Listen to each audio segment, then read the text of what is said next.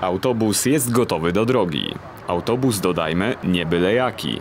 To szczepieniobus, czyli najnowsza inicjatywa rządu i wojewody. Pod hasłem Szczepimy Wielkopolskę e, to właśnie ten e, szczepieniobus dotrze do najodległejszych e, zakątków Wielkopolski. A tam, gdzie dotrze, każdy chętny będzie mógł się zaszczepić na COVID jednodawkową szczepionką firmy Johnson Johnson. Oczywiście bez żadnej rejestracji. Po prostu przyjść i niczego się nie obawiać. Pierwsze szczepienia już jutro, od rana w Sulmierzycach i po południu w Kole. Gdy wojewoda prezentował dziś szczepieniobóz przed Urzędem Wojewódzkim, w środku gmachu, jak co piątek, też można było skorzystać ze szczepień od ręki.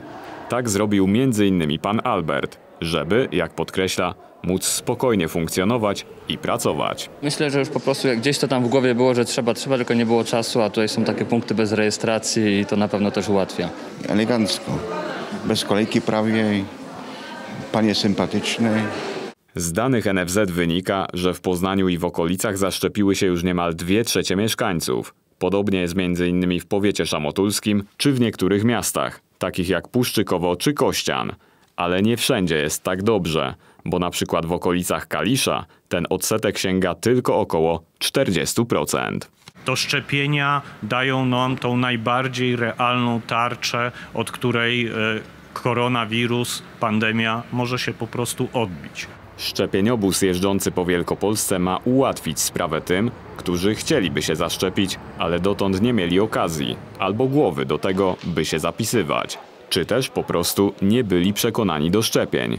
Wojewoda chce ich przekonać danymi z innych państw.